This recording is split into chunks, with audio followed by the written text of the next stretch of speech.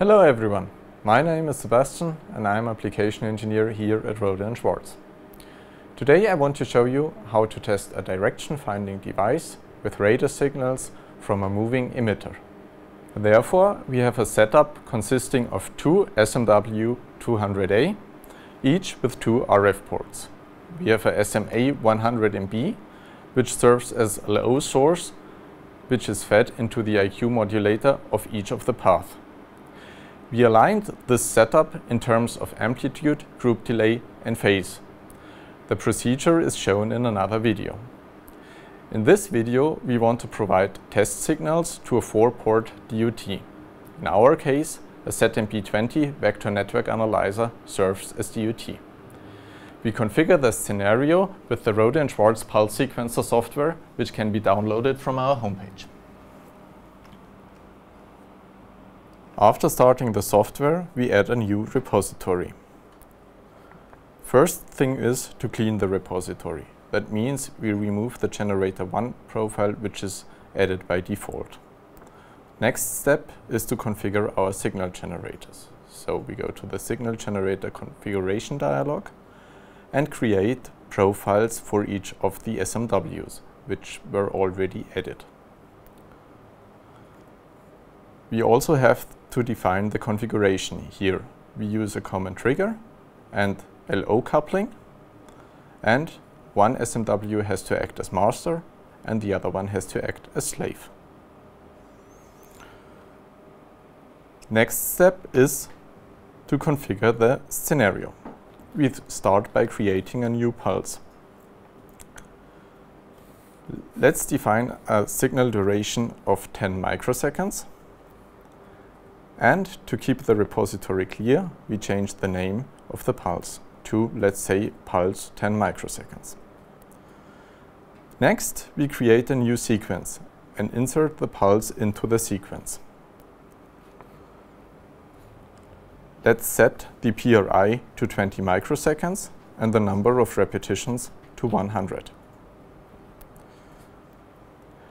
We now need a receiver that has four antennas. Let's say the receiver is connected to an uniform linear array with an antenna spacing of half a wavelength at 10 GHz. This corresponds to 1.5 centimeters. We set the coordinates of the antenna elements accordingly.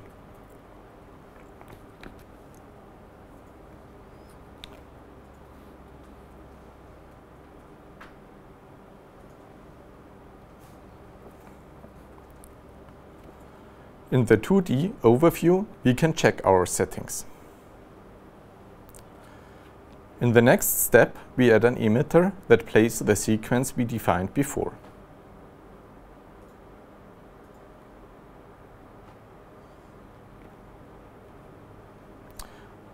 Additionally, we have to change the frequency to 10 GHz. For simplicity, both the emitter and the receiver have omnidirectional antennas. Now we define the geometry and the movements in the scenario. Therefore, we add a direction finding scenario and then open the map. The receiver is already placed in the middle of the map, so we just drag and drop the emitter into our scenario. We place it north of the emitter so that the antenna array is perpendicular to the direction of arrival of the emitter signals. The emitter shall not be static but moving around the receiver. We go to its properties and set the movement type to moving and the trajectory to arc. We start at a position 2500 meters north and move in a full circle around the receiver with a speed of 210 meters per second. Then we close the properties dialog. By clicking the play button, we see a preview of this scenario. The scenario definition is now complete, so we assign the signals to our four RF path. Therefore, we go to our scenario.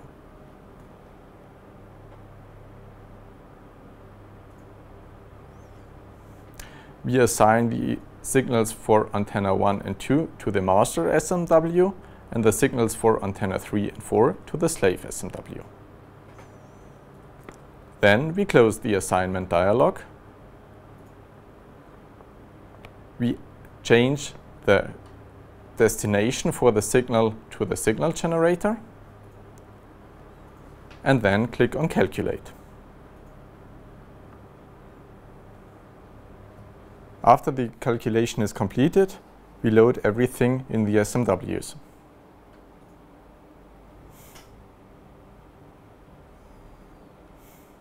Now, we only need to switch on the RF ports alignment feature in the master SMW and trigger the simulation. Let me now show you what we expect to see on the DUT.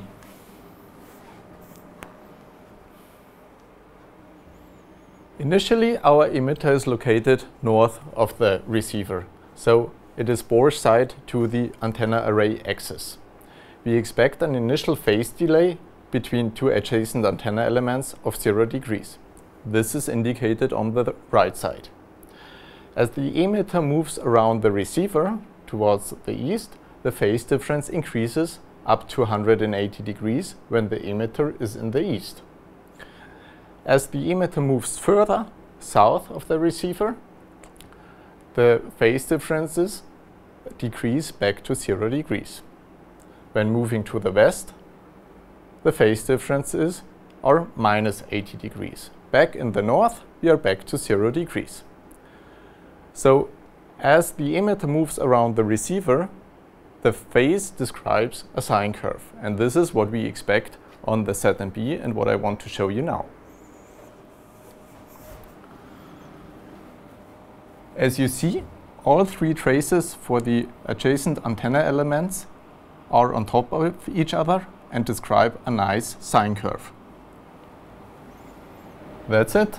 Thank you for your attention and see you next time.